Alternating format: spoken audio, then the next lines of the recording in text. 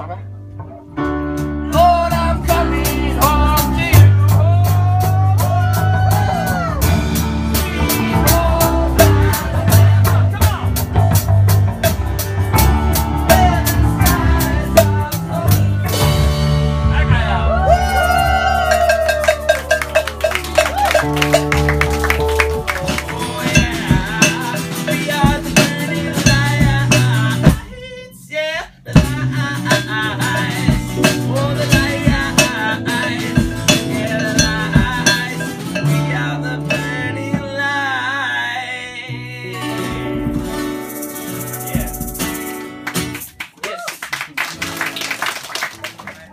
Et eh, oota, kas keegi julgeb proovida neid, seda, seda kätte ja seda hoidmist? sina, tule korraks sul on kodus kitarr või? tubli poiss. aga sa pole harjutanud? no võta kätte ja hakka harjutama. siia, selle paned siia ja, ja selle paned, selle paned siia.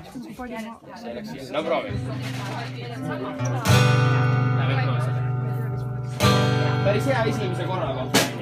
Kõlab hästi ju, onju, see on G-tuur, see on G-tuur, väga hea. nii, nüüd proovime D-tuuri, see on siukene, see siia, E-moll kõige lihtsam. see siia ja see vot siia. ah, ja, ja, nii. ei, see läheb siia, see läheb siia see läheb siia, vot nii, jah. nüüd ära esimest kahte keelt mängida. nii, proovi nüüd. Ja oota, muidu natuke tugevam puhtamine. teine jah, ja see ja see läheb kolmanda peale.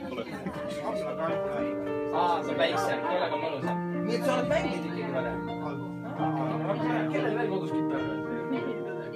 sul on, sul on, sul on, sul on. no võtke kätte. on trumm ei löönud kunagi oma elus või?